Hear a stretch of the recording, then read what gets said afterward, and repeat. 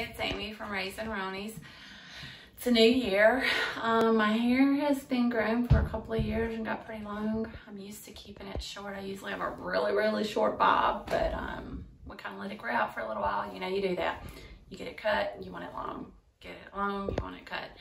So with the twins and everything, and since we've cut Grace's hair and I have to straighten it some, Hope's hair has been cut and I have to straighten it some, I don't have a lot of time for mine. And plus it's really heavy and I don't know.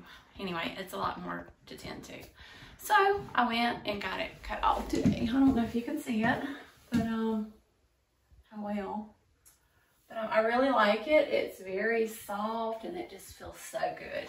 Um, I can probably still, yeah, I can still pull it on ponytail. So I can't see what it looks like. So anyway, it would be cute.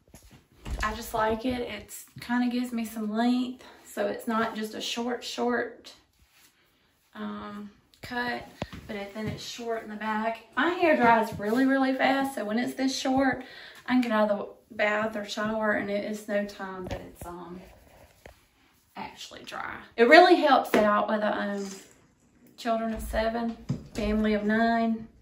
Um, and I don't know. Maybe it makes me look a little younger. What do you think? I don't know. Anything would help. I was beginning to think with my hair being as long as it was that I would just put it in a bun or what they used to call it when I was little, hornet's nest. My grandmother always kept hers up right up here and her hair was kind of salt and pepper looking and I don't know. Um, but I'm not ready for that yet. I still got babies that's running around this year old. So we went with more of a stylish look for right now. I'm not ready for the beehive. Drop a comment. Let me know if you like it this way or if you like it longer or if you have any suggestions because it won't be long. I may try to do something else with it. I don't know. I love to have my hair done. It gives me some free time the only time that I get to sit still and have something done for myself. Even though it is just a haircut and some people have to have them. But this is my free time is to go sit and talk with the ladies up there and laugh and joke and mess around with them. I have to give them a hard time. I've been with them for many years. I've known them.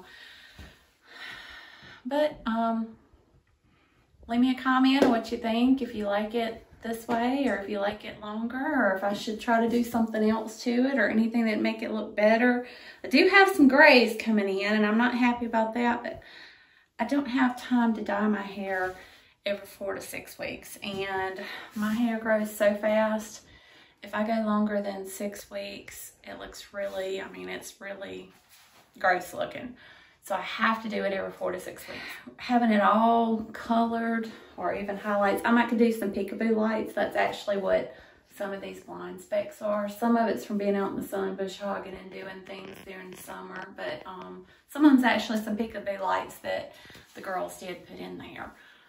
I may try to get a few of those when it gets summertime. But anyway, um, it feels good. I like it. And it'll be easier for me and give me a little bit more time to work on my girls' hair till I can get them trained. They've got to learn how to straighten and fix their hair.